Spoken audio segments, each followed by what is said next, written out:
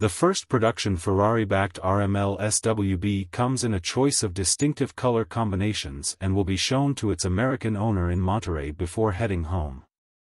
The first production RML SWB, it is a modernized version of a Ferrari 250 GT SWB, although the company cannot say so for legal reasons, is ready to be handed over to its owner.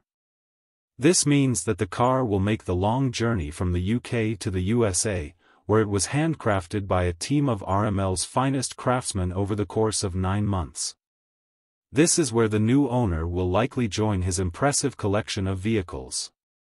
But before it finds its new home, it will be showcased at Monterey Car Week with the company's CEO, Michael Mallock.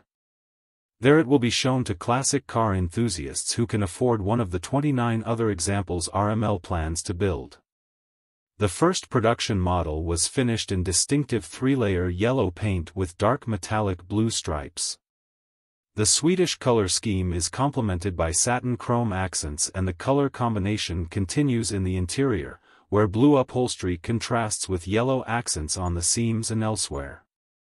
The magnificent Restomod is powered by a 5.5-liter Ferrari V12 engine that produces 479 horsepower, 357 kW/486 PS, and sends it to the rear wheels via a 6-speed manual transmission. This can take the SWB off the line and accelerate to 60 miles per hour, 96 kilometers per hour, in 4.1 seconds, reaching a top speed of 180 miles per hour, 290 kilometers per hour. While it looks classic from the outside, Inside it has a variety of modern amenities such as power seats, air conditioning, navigation, smartphone connectivity and even cup holders. RML says that now that the first car is on its way to new owners, others will follow soon and deliveries will take place in the coming weeks.